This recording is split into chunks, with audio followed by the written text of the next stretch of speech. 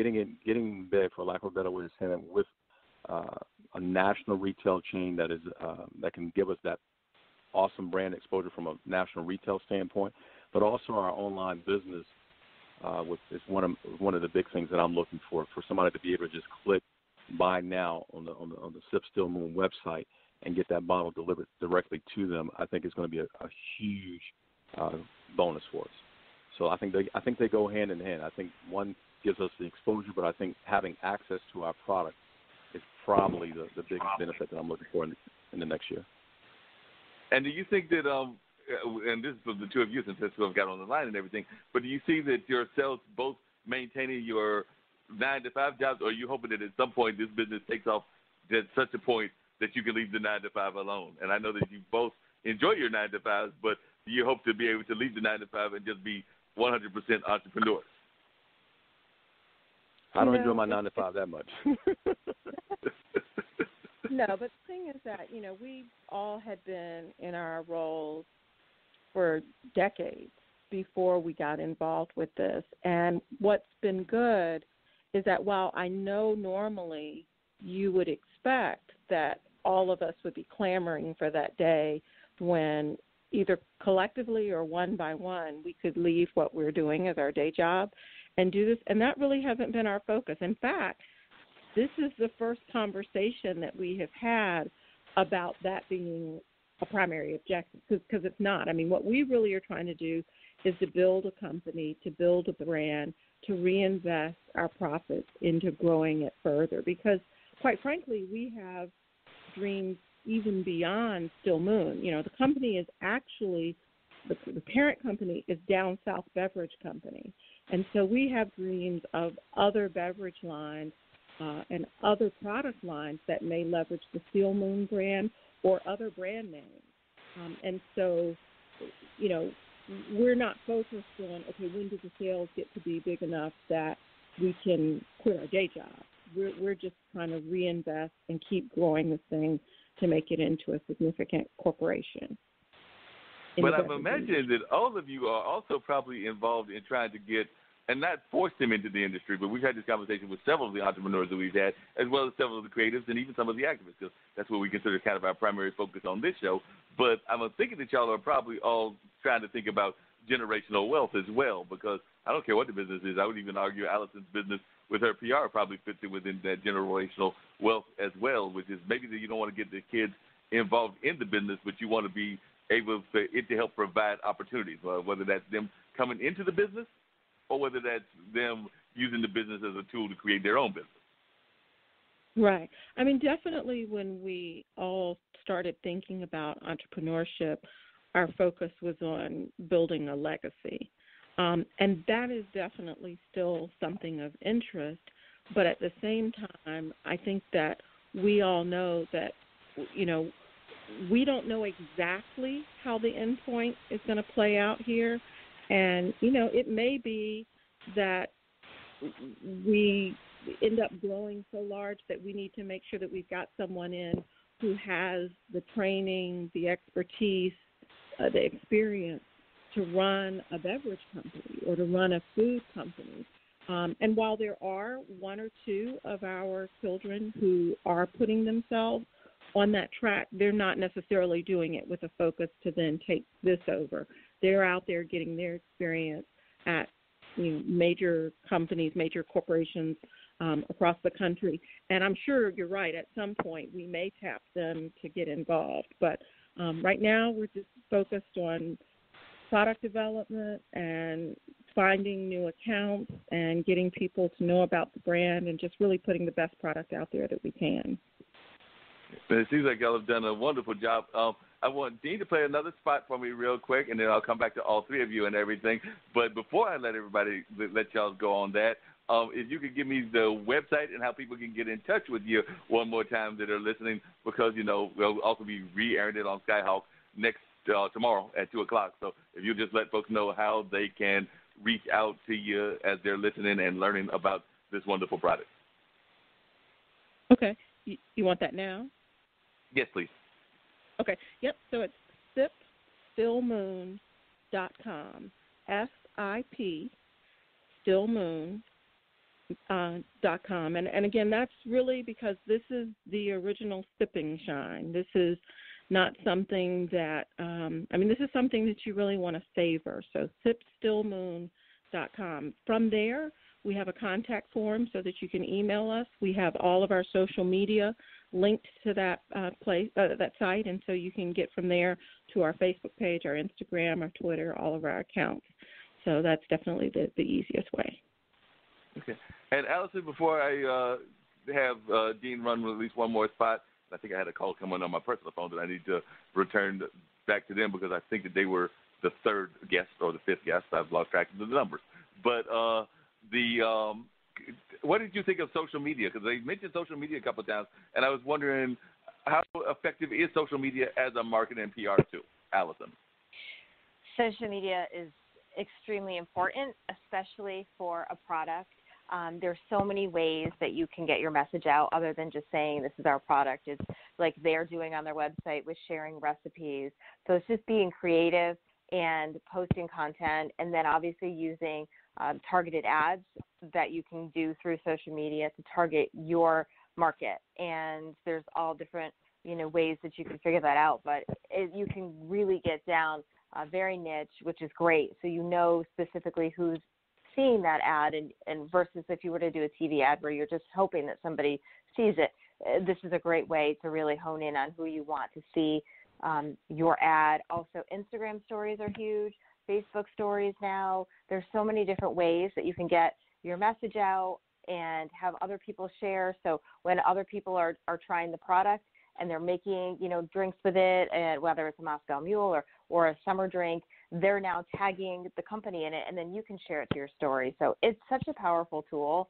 Um, I, I, every company obviously should have Instagram, Facebook, as well as Twitter and uh, and they do. So they they they've got it up there, and I would just probably recommend maybe posting a little bit more often. Um, when I was quickly taking a look at it, but I mean, you can have amazing pictures too, and your bo- the bottle is gorgeous. It's not your typical mason jar as you had mentioned. So um, yeah, just I keep posting and keep being having different uh, topics and different items that you can promote and have engaged with other people too. Because one of the things I found fascinating, like I said, I still want Dean to run that one other spot. But one of the things I found really fascinating is that we just did an event at Hayti. I was a young man. Now he was doing his art show, and I do sometimes think that not so much the seasoned veteran entrepreneur like these people are, and like some of our other guests have been, but I do sometimes think that our young people get too caught up in only using social media as their marketing tool because they'll oftentimes come up to me and you got to remember the, and the other people on the line will know this, but Hayti is an event center, so they'll post and they'll get thousands of hits on Facebook. Now, given some of these hits might be in Croatia, the, they're really pumped mm. up about the fact that they've got tens of thousands of hits, and they're thinking that they're going to have a large audience, and then they only get like 30 people or like 40 people or something of that nature. So I do sometimes think that particularly our young entrepreneurs get too caught up on some of our social media as a crutch without using the rest of the media plan. Not so much the seasoned veterans like what we have here and like what we've had on some of our other shows, but I do sometimes think that our young people sometimes get too caught up on social media. Would you agree with that, Allison? I do agree, and I think that even business owners, I mean, you see, especially if you want to reach out to social media influencers to help promote your product, something that we always say is they could have, you know, a million likes or a million followers, but where are they organic or are they paid? Because sometimes they get you know paid likes. So you want to look at engagement. How many comments are they getting? Are they just are they real comments? Are they you know as we call them bots, where it's just somebody will just say great, amazing, love it. So you really want to dive into to see are they connecting with their audience? And sometimes we actually tell clients to go for influencers that don't have a huge following, we call them nano influencers or micro influencers, because their audience is smaller, but they're way more engaged with them. So I do think that you have to look at the big picture, and you can't rely just on social media. And um, and don't just get you know blown away by the likes or followers because that doesn't always mean anything. Exactly. Dean, can you drop me two spots? Because I think I had a call and I need to see if they're going to call in in the next 15 minutes. So if you could do that, I'll call them and then I'll call right back in. Hey, listen, we want to thank right. you for having we'll us on. Thank no you. problem. I was glad to have you. Okay. Are you enjoying the smoothest conversation in podcasting? Straight Talk with Dean and Marc. Hi, this is DJ Smooth Jazz, syndicated radio host and co owner of Portfolio Group LLC, your smooth jazz lifestyle and entertainment group with offices in Durham, North Carolina. Portfolio Group LLC specializes in promoting the lifestyle of smooth jazz listeners with the promotion of smooth jazz events and the distribution of African American owned wines. For more information, portfoliogroupllc.com, or you can swing by my secondary site, djsmoothjazz.com. Now back to Straight Talk with Dean and Marc. Bass players, best thing you can do for your overall sound. You've got to see this. New Basstone Incorporated makes Nightwalker bass guitar tube preamps. This preamp will give your sound such a boost, it's just incredible. Try it today. Try it today now.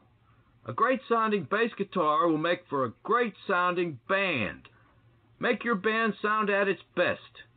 Best thing you can do for your bass guitar sound. NewBassTone.com. NewBassTone.com. Hi, we're the Goo Goo Dolls. We're fortunate that our daughters have what they need to grow and learn. But that isn't the case for nearly 13 million kids in the U.S. that struggle with hunger. Childhood hunger is a heartbreaking reality that Feeding America is working to change. Each year, the Feeding America network of food banks rescues billions of pounds of good food that would have gone to waste and provides it to families and children in need. You can help kids in need in your community by visiting feedingamerica.org. Brought to you by Feeding America and the Ad Council.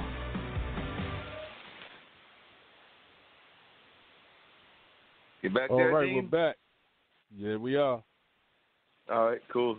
Yeah, we're back to continue the conversation. I think that the Drink Still Moon folks might have left the building, but definitely Allison is still here. So, Allison, what are some of the other advices that you would give to people that are into just marketing in general? We talked about some of the things that people do can do wrong, like doing too much dependability on social media. But what are some of the other things that you have found that people uh, make as a mistake in terms of doing their social media and in terms of doing business in general? I'm sure there are tons of mistakes that you have observed that you try to steer your clients away from. Oh yes. One of the things that I think a lot of companies and we all are, you know, we all do it is we try and and sell too much, right? So social media, it's not really a place to sell. I think I read something where you're only really supposed to kind of like promote yourself or sell your product 10% of the time. The rest of the time, it just should be engaging. So, you know, you can still talk about your product, but in a in a way that it doesn't come off as like buy our sunscreen. It's the best sunscreen. It will do this. It will do that. Eh, it, you have to tell stories. Social media, just like PR, is all about storytelling. People go on there because they want you they want stories. They don't want to be sold. It's kind of the same thing we tell people on LinkedIn all the time. Not to you know immediately when you connect with somebody, don't just message them and say hello. I I do this. Can we set up an appointment? And you know, you have to get to know people and build that relationship. And that's the same thing with social media. If you have people who follow you, you you want to connect with them, and you don't want to keep shoving it down their throat of why they should use your service, why they should buy your product. They'll figure it out themselves, and you want to add value. So if you um, are you know a, a wine company or your sunscreen company give stories show people give testimonials uh, talk about you know you don't always have to talk about yourself either it could be um, you know a friday and just show your staff having you know a fun on a friday or if it's a national cake day show your team eating cake or ask people what's their favorite cake. It doesn't have to be anything about your brand as long as you're you know do, follow what's trending. Um, i would stay away from politics. A lot of companies will go there, and you really should not do that because it's just you don't like to mix business with politics. Uh, same thing with religion, unless you really want to take a stance on something and you're good with that. But we try and have people stay away from that. But uh, have fun on social media. I think people get nervous about it and think too much about it. Uh, make sure your branding is consistent as well. Uh, your, you know, all of your logos and your colors and all of that matches your website you know, simple things like that. And, you know, if you can't do it yourself because you're really busy, see if you can get an intern or somebody that can perhaps post, uh, you know, a couple of times you know, a day.